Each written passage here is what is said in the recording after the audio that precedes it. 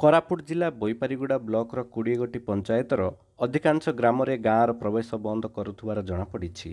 କିଛି ଗ୍ରାମରେ କରୋନା ଭୂତାଣୁ ପରି ଅନ୍ୟ କୌଣସି ବ୍ୟକ୍ତିଙ୍କୁ ସଂକ୍ରମଣ ନ ହେବ ସେଥିନିମନ୍ତେ ଗାଁର ପ୍ରବେଶ ପଥକୁ ବନ୍ଦ କରିଥିବା ବେଳେ କିଛି ଗ୍ରାମରେ ପ୍ରଶାସନ ଅଧିକାରୀ କିମ୍ବା ପୋଲିସ ବିଭାଗର ଯେପରି ଗାଁକୁ ପ୍ରବେଶ ନ କରିବେ ସେଥିପାଇଁ ପ୍ରବେଶ ବନ୍ଦ କରିଛନ୍ତି। ଗାଁର ଯୁବକମାନେ ଏକାଠି ହୋଇ ଖେଳୁଥିବାର ଦେଖିବାକୁ ମିଳିଥିଲା।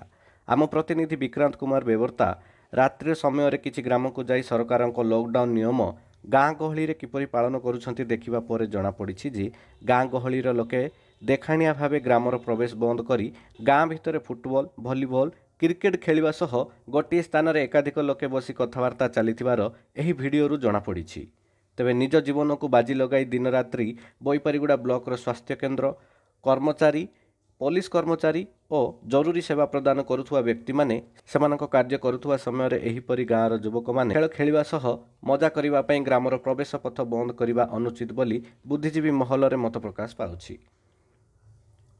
କୋରାପୁଟ ଜିଲ୍ଲା ବୋଇପାରିଗୁଡ଼ାରୁ ବିକ୍ରାନ୍ତ କୁମାର ବେବର୍ତ୍ତାଙ୍କ ରିପୋର୍ଟ। ଉତ୍କଳ ଖବର।